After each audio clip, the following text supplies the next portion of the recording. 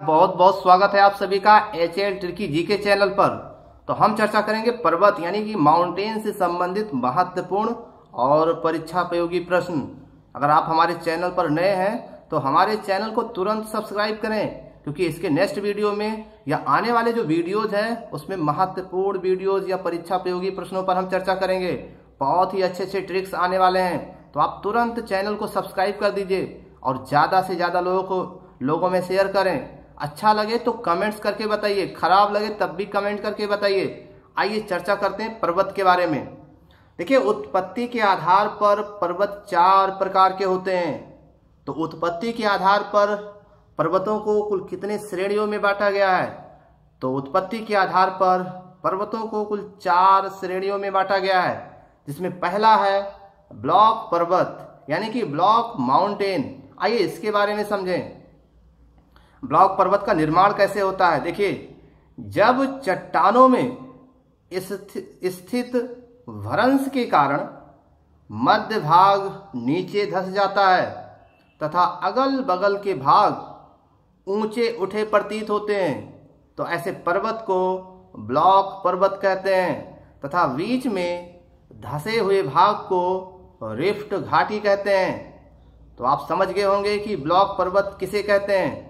जब चट्टानों में स्थित भ्रंश के कारण मध्य भाग नीचे धस जाता है और अगल बगल के भाग ऊँचे उठे प्रतीत होते हैं तो उसी ऊँचे उठे प्रतीत होने वाले पार्ट को ब्लॉक पर्वत कहते हैं तथा जो बीच में धसे हुए पार्ट होते हैं, उनको रिफ्ट घाटी कहते हैं। तो आप ये भी बता सकते हैं कि रिफ्ट घाटी किसे कहते हैं? अब आइए जान लेते हैं, समझ लेते हैं कि ब्लॉक पर्वत के अंतर्गत कौन कौन से पर्वत आते हैं। जी हाँ परीक्षा में पूछा जाता है कि ब्लॉक पर्वत का उदाहरण है कौन कौन सा पर्वत। तो आइए इसको ट्रिक के माध्यम से याद करें। ब्लैक जींस साल्ट में गिर गया। अगर ये ट्रिक आप याद कर लेते हैं तो ब्लॉक पर्वत के अंतर्गत आने वाले सभी पर्वत इसी में शामिल हैं। ब्लैक जींस साल्ट में गिर गया। ब्लैक से समझना है, ब्लैक फॉरेस्ट पर्वत, ये जर्मनी में है। तो ब्लैक फॉरेस्ट पर्वत कहाँ पर है? किस देश में? जर्मनी में है। ब्लैक फॉरेस्ट पर्वत, ये ब्लॉक पर्वत के अंतर्गत आता है। जिन्स से समझना है, वॉस जेंस है ना? वॉस जेंस पर्वत, ये किस देश में है? ये फ्रांस में है। अब ये पर्वत किस पर्वत का उदाहरण है? तो ये है ब्लॉक पर्वत का उदाहरण। साल्ट में गिर गया। देखिए, साल्ट रेज ये पर्वत का नाम है और ये पर्वत पाकिस्तान में है। तो ये पर्वत किस प्रकार के पर्वत का उदाहरण है? ये ब्लॉक पर्वत का उदाहरण है। और भी आगे बढ़ें। जी हाँ अवशिष्ट पर्वत किसे कहते हैं? आइए इसको समझें। अवशिष्ट पर्वत किसे कहते हैं? यानी कि रेजिडियल माउंटेन ये पर्वत चट्टानों के अपर्दन से निर्मित होते हैं। तो कौन सा ऐसा पर्वत है जो चट्टानों के आपर्दन से बनता है? उसे बोलते हैं अवशिष्ट पर्वत। अवशिष्ट पर्वत के अंतर्गत आने वाले कौन कौन से पर्वत हैं? आइए इसको ट्रिक से याद करें। ट्रिक है विस्नी पारा सी गैस क्या बोलना है? विस्नी पारा सी गैस वी से हो जाएगा विंध्याचल पर्वत। ये भारत में है तो ये जो विंध्याचल पर्वत है, ये अवशिष्ट पर्वत के अंतर्गत आएगा। सा से हो जाएगा सतपुड़ा। ये अवशिष्ट पर्वत के अंतर्गत आएगा। नी से जाएगा नीलगिरी। ये भी भारत में है, ये भी अवशिष्ट पर्वत के अंतर्गत आएगा। और पा से हो जाएगा पारसनाथ की पहाड़ियाँ। ये भी अवशिष्ट पर्वत के उदाहरण है। इसके अलावा सी से हो जाएगा सियरा पर्वत। ये स्पेन में पड़ता है और ये अवशिष्ट पर्वत के उदाहरण है। गै से हो जाएगा गैसा एवं बोटे। ये अमेरिका के अंतर्गत आने वाला पर्वत है और ये अवशिष्ट पर्वत के अंतर्गत आता है। जी हाँ अब हम तीसरे पर्वत की चर्चा करेंगे, यानी कि संचित पर्वत।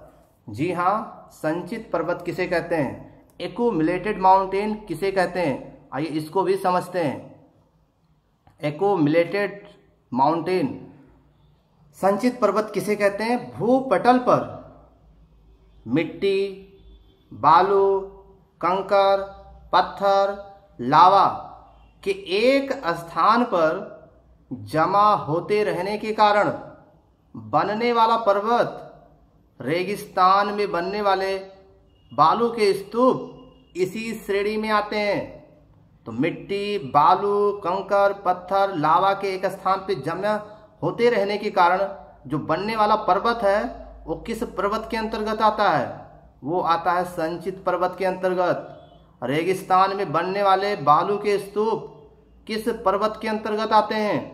तो भी संचित पर्वत के अंतर्गत आते हैं एकोमुलेटेड माउंटेन के अंतर्गत आते हैं। अब हम बात करते हैं चौथे वलित पर्वत की। जी हाँ चौथा पर्वत कौन सा है? वलित पर्वत। अब तक हम तीन पर्वतों के बारे में चर्चा कर चुके हैं।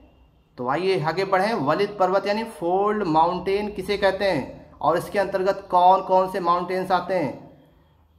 देखिए, वलित पर्वत का निर्माण कैसे होता है?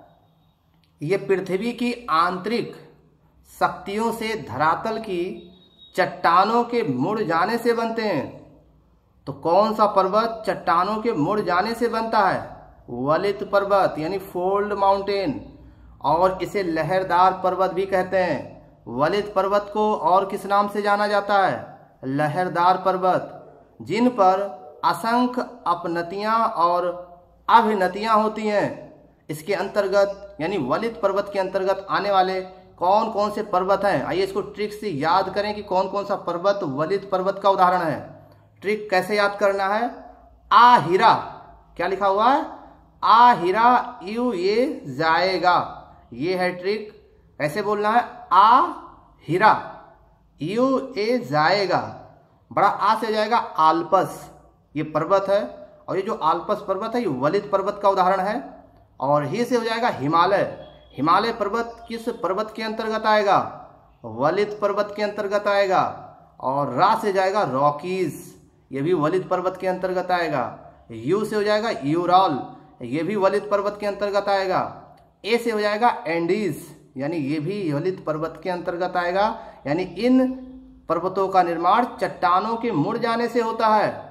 तो जिन पर्वतों का निर्माण चट्टानों के मुड़ जाने से होता है, उसे ही क्या कहते हैं? वलित पर्वत कहते हैं। और भी पर्वत से संबंधित कुछ महत्वपूर्ण और रोचक जानकारियाँ, इनको भी जान लेना बहुत ज़रूरी है।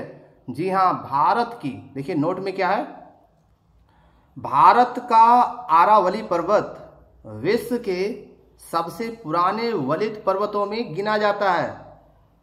तो भारत का कौन सा पर्वत है जो विश्व के सबसे पुराने वलित पर्वतों में गिना जाता है? आरावली पर्वत।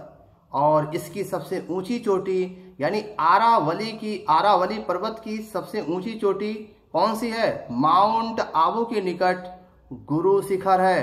तो गुरु शिखर आरावली पर्वत की सबसे ऊँची चोटी है, जो किस पर स्थित है? माउंट आबू पर स्थित है। माउंट आबू किसका पार्ट है? आरावली पर्वत का। जी हाँ नेक्स्ट पॉइंट की बात करें। जहाँ आज हिमालय पर्वत खड़ा है, वहाँ किसी समय में टेथिस सागर नामक विशाल भूभाग अथवा भू दोरणी थी। दक्षिण पठार के उत्तर की ओर विस्थापन के कारण टेथिस टेथिस सागर में बल पड़ गए और यह ऊपर उठ गया, जिससे संसार का सबसे ऊँचा पर्वत हिमालय पर्वत का निर्माण हुआ। तो ये थी पर्वतों से संबंधित कुछ महत्वपूर्ण और बेहद उपयोगी जानकारियाँ। और भी इसके आगे बढ़ें। तो ये थी और भी पर्वतों के बारे में। नीलगिरी की पहाड़ियाँ। जी हाँ इनके बारे में भी जान लेना बहुत ज़रूरी है। नीलगिरी की पहाड़ियाँ। कैसे इसको याद करें? कुछ महत्वपूर्ण प्रश्न। हमारे वीडियोस को देखने के लिए आपको बहुत बहुत धन्यवाद।